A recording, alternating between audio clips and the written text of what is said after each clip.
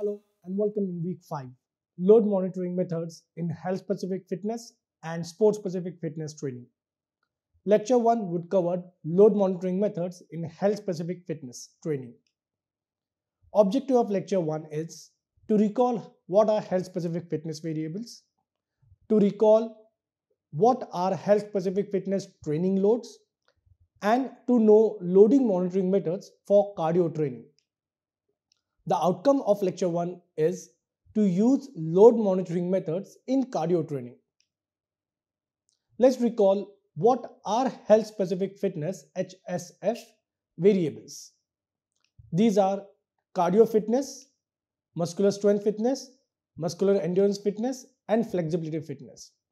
In lecture 1, we will cover the load monitoring methods specifically for cardio fitness.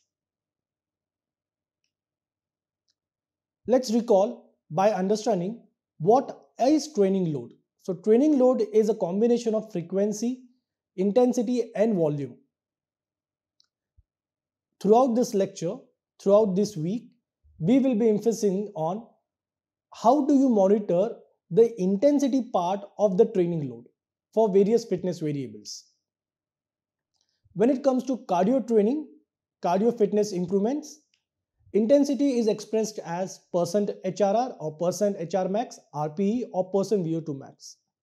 Now, when you undergo a cardio training program, what are the various methods where you would monitor these loads?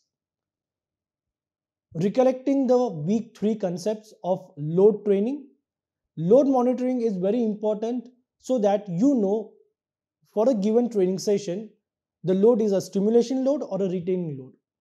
Without monitoring the load, you won't be in a situation to understand or confirm whether you are undergoing a stimulation training or a retaining training or a detraining training.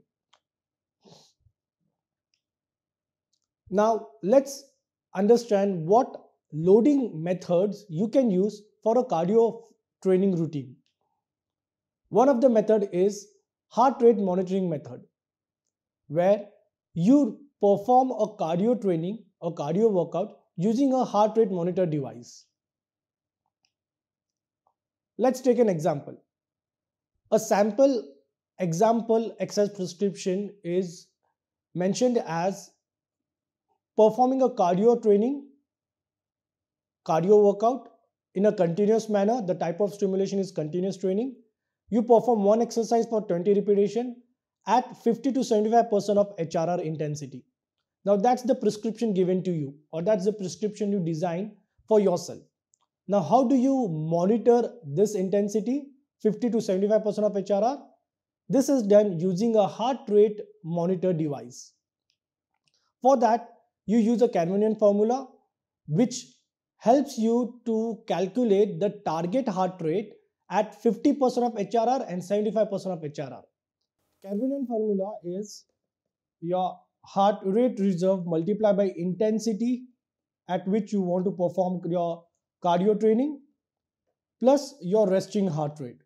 Using this formula, 50% of HRR comes to be 129 beats per minute and 75% of HRR comes to be 156 beats per minute. So for a given prescription, you perform 20 minutes of cardio training, cardio workout with an heart rate ranging from 129 beats per minute to 156 beats per minute. Now let's say the exercise that you prescribe is a treadmill walk or treadmill jog. So you adjust the treadmill speed till the HR heart rate reaches 129 beats per minute. You maintain that speed for 20 minutes because the prescription for the given workout routine is 20 minutes of volume.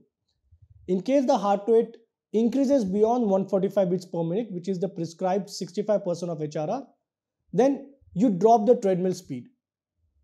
That's how you use the heart rate device monitor to control the load, that is intensity of the cardio training, as well as to monitor the load for a cardio workout.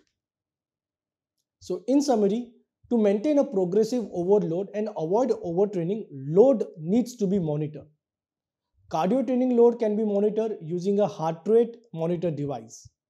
While using a cardio machine, one can control the machine speed using the heart rate monitor device to train at a prescribed cardio intensity rather than you choose a random speed of the treadmill at using your own perception of exertion you use a very objective load for a given workout routine using the heart rate monitor method.